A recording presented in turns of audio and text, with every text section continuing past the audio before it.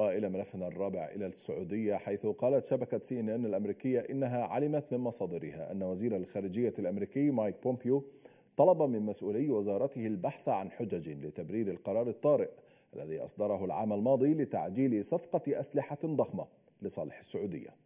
وقال أحد المسؤولين بالخارجية الأمريكية إنهم أفصحوا عن تصرف بومبيو إلى مكتب المفتش العام بالوزارة أواخر العام الماضي في إطار تحقيق فتحه المكتب بشأن ذلك القرار الطارئ الذي أدى إلى تسريع صفقة السلاح للسعودية.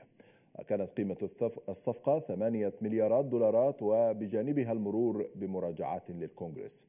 ويأتي تقرير سي إن إن في ظل شبهات تحوم حول بومبيو بعدما أصدر الرئيس الأمريكي دونالد ترامب قبل أيام قرارا بعزل المفتش العام لوزارة الخارجية ستيف لينيك بناء على توصية من بومبيو. وينضم إلي عبر سكايب من لندن الدكتور محمد المسعري امين عام حزب التجديد الإسلامي. أهلا بك معنا دكتور. أهلا وسهلا مرحبتين شكرا على استضافتي.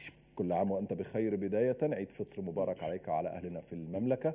سؤالي فايزين نعم. جميعا. سؤالي لك لماذا سعى بومبيو لتمرير صفقة أسلحة للسعودية بقرار طارئ؟ هو ظاهر طبعا معروف إنه في المدة الأخيرة الدولة العميقة وفي أمريكا موقفها سيء جدا من النظام السعودي في السنوات الأربع الخمس الأخيرة ووصل الأمر إلى إيقاف أنواع من الدعم الجوي بالمعلومات والدعم بالأقمار الصناعية وإيقاف تعبئة الطائرات بالوقود جوا تطير جوا إلى آخره. ف ولكن طبعا بومبيو والرئيس الأمريكي وهو شعبوي لكنه في الواقع يتبع المعسكر الصهيوني وهمه الرئيسي خدمة إسرائيل. فارادوا أن يمرروا صفقه بطريقة ما ولكن بحثوا عن وسائل للتلاعب ب لأن هناك قرار من الكونغرس وقرارات لا تسمح بتصدير السلاح إلا باذون من الكونغرس. ف لكن في أحوال الطوارئ والاستعجال ممكن التجاوز هذا ولهذا أشار إلى بعض الموظفين بأن يبحثوا عن وسائل وحيل للالتفاف حول قرار الكونغرس والعام وكذلك خصوص السعودية لأن هناك تضييق على السعودية بعد قضية خاشقجي أيضا. ف وهذا طبعا بتوجيه من ترامب وإن كان ترامب يدعي إنه ليس له علاقة بالموضوع وإنه إنه انما عزل المفتش العام في وزارة الخارجية بناء على اقتراح بومبيو، لكن الجميع متواطئين في العملية كما هم متواطئين في في عملية قتل خاشقجي عزل المفتش العام دكتور له علاقة بهذه الصفقة؟ نعم لأنه كان لأنه كان يبحث في الموضوع ويحقق فيه. هذا هو فبدون شك له علاقة في لأنه مفتش العام من مهمات التفتيش على جميع المخالفات القانونية والأمور التي فيها خرق للقانون أو محاولة التلاعب بالقانون أو الالتفاف وراء القانون. طيب هو ف... لماذا لماذا يلجأ بومبيو ومن ورائه ترامب كما تقول لإخفاء هذه الصفقة عن الكونغرس الأمريكي؟ يعني ماذا يوجد في هذه الصفقة يحتاج بومبيو أن يخفيه عن الكونغرس؟ الصفقة نفسها لأن الكونغرس يقف والدولة العميقة تقف بحزم أمام استمرار عملية القتال في اليمن وتزويد السعودية بالسلاح. وسبق أن تم إيقاف تزويد كما قلت الطائرات بالوقود في الجو وزعمت السعودية أنها طلبت من أمريكا ذلك. طبعا هذا كلام لا يصدقه أحد. وكذلك التزويد بالذخائر وإلى آخره توقف وهناك توجه في الكونغرس وسخط شديد في داخل الحزب الجمهوري نفسه فيما يتعلق بقضية خاشقجي. فكل هذه تفاعلت وأدت إلى إيقاف وتجميد وتعطيل الصفقات إلا بإذن من الكونغرس، لكن النظام يسمح في أحوال الطوارئ والاستعجال بأن يقوم الرئيس الأمريكي أو وزارة الخارجية إذا وصفت تزويدا معينا بأنه مستعجل وله مبررات طارئة بأن يتم هذا ثم بعد ذلك يخبر الكونغرس بذلك فكان يبحث عن تبريرات ويحاول يتلاعب بالقانون ولا توجد أي تبريرات أصلا طيب عندما نتحدث عن نشر تقرير السي إن إن والضغوط التي تزداد على بومبيو للكشف عن تفاصيل هذه الصفقة، بعد عزل المفتش العام دكتور، هل يمكن إعادة فتح التحقيق مرة أخرى؟ طبعا ما شك الكونغرس قد يستدعي بومبيو واستجواء به وقد يستدعي المفتش العام ويسأله عن ما الذي حدث قبل عزله وما هي النتائج التي وصل إليها. يعني فتح على على بومبيو على الرئيس الأمريكي باب إزعاج إضافة لما هم فيه من حالة مرتبكة وفوضى لا تصدق كما قال الرئيس أوباما فيما يتعلق بمعالجة فيروس كورونا. في وضع سيء. مايك بومبيو يحاول حماية نفسه هنا حماية دونالد ترامب أم يحاول حماية المملكة السعودية ومحمد بن سلمان أم يحاول حماية الأموال التي دفعت في هذه الصفقة؟ لا هذه هو كل ترامب وبومبيو همهم الرئيسي هو حماية إسرائيل لأنهم من رجالات المخطط الصهيوني وفي هذا المسار. أهمهم الرئيسي هو حماية أكبر قدر من الحماية والمصلحة لإسرائيل. هذا الهم الرئيسي. ما علاقة هذه الصفقة بحماية إسرائيل؟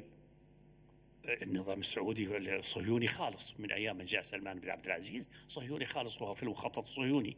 يسير فيه سيرا حديثا وصفقة القرن ما ما كانت تتم عن السعودية لم تحضر في الظاهر. الإمارات حضرت الإمارات وقحها لا تبالي يعني صفيقة الوجه كنظام.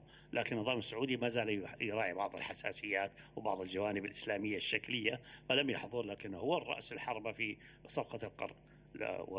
فلا بد من من من إرضائه وإشراكه في العملية وتمويله بالسلاح لإتمام صفقة القرن، لكن يبدو أن هذا كله فشل وصفقة القرن قد قضى عليها فيروس كورونا. جزاه الله خير. عن الفيروس جزا الله الفيروس خيرا على هذا. يعني أول ضيف يشكر فيروس كورونا على الهواء دكتور. طيب. له محاسن لا تنكر. مع طيب. إنه له جوانب مزعجة لكن رب ضارة نافعة. وعلى كل حال لا ياتي بلاء أو وباء إلا له جانب جيد هو شهادة للمؤمنين وعذاب للكافرين وافشال مخططات المتآمرين. طيب. يعني في لماذا بركة. نعم دكتور. لماذا تكون صفقات الأسلحة الخاصة بالمملكة العربية السعودية تحديدا؟ منذ ظهور محمد بن سلمان مثار جدل في الولايات المتحدة الأمريكية. الأسباب التي ذكرتها ان أن أن من مجيء سلمان بن عبد العزيز ومسيري في المخطط الصهيوني الخالص وهو ليس ما تريده الدولة العميقة أمريكا، الدولة العميقة أمريكا أدركت أنه يعني لا زالت تعتبر إسرائيل مهم وحليف ضروري ورأس حربه للغرب، لكنها ليست بوارد أن أن تضحي بمصالح أمريكا التي تريد نوعا من التوازن والاستقرار في المنطقة وأن تكون لتركيا دور فعال ولإيران دور فعال وعلى الجميع أن يقبل هذه لأن هذه قوة إقليمية عظمى تمكن من حفظ السلام واستمرار المصالح الأمريكية والتجارة الأمريكية، الدولة العميقة دولة الراسماليه الأمريكية الوطنية ومصالح الوطنية الأمريكية مقدمة على مصالح إسرائيل، وإن كانت تعتبر إسرائيل جزء مصلحتها لكن يبدو ان حتى هذا الموضوع أصبح الآن محل نظر ومراجعة في أمريكا بدليل أن الصحافة الإسرائيلية مؤخرا كتبت أن فوز بايدن يضر بمصالح إسرائيل، فالدولة العميقة التي تدعم بايدن يبدو أنها أدركت أن إسرائيل كانت ليست صفقة جيدة بالنسبة لها. لكن لا يعني أنها توافق على إزالتها بعد لكن آه، لا شك أنها لا تسمح لإسرائيل أن تفرض السياسة في المنطقة التي يعتقد الأمريكان الدولة العميقة والرأسمالية الأمريكية الوطنية أنها مضرة لمصالح أمريكا. طيب يعني كلما نعم كلما أراد الرئيس نعم كلما أراد الرئيس ترامب دكتور محمد أن يدعم محمد بن سلمان ويدعم مشروع محمد بن سلمان أصيب بحالة من الجدل داخل الولايات المتحدة الأمريكية وتكتب عنه الصحافة برأيك هل بات محمد بن سلمان ومشروعه أن يكون ملكا للسعودية عبئا ثقيلا على الإدارة الأمريكية؟ وعبء ثقيل على الدولة الأمريكية العميقة ولكنه هذا المحبذ من قبل ترامب لكن ترامب الآن حتى هو ترامب يعني بدأ يشعر هذا عبء ثقيل لأنه يريد أن يتفرغ لمحاولة إعادة انتخابه حتى يفوز بفترة إضافية وهذه الإزعاجات يعني وجع راس ليس هو وارد الاستفادة منه. فيريد حتى التخلص من العلاج ممكن حتى ترامب يمكن أن ينسحب من هذه العملية وربما حتى لا لا بأس لديه من أن يتخلص من بومبيو إذا لزم الأمر. فإذا انكشف بومبيو وانفضح فسيقوم ترامب بتضحيته ولا نعم. يبالي بذلك. همه الرئيسي الآن اعاده انتخابه وهو لا شك نعم. يعني يشكر وجوده في الرئاسة وفوزه بالانتخابات للدعم الصهيوني المطلق والدولة الصهيونية في أمريكا. شكرا جزيلا لك دكتور محمد. وفي روسيا أيضا. نعم شكرا جزيلا لك دكتور محمد المسعري أمين عام حزب التجديد الإسلامي. كنت ضيفي عبر سكايب من لندن. وبهذا نصل إلى نهاية هذه الحلقة من أضواء على الأحداث. كل عام وأنتم بخير عيدكم مبارك ووصلنا إلى نهاية الحلقة. اذا حتى ألقاكم في حلقة قادمة دمتم في أمان الله. السلام عليكم.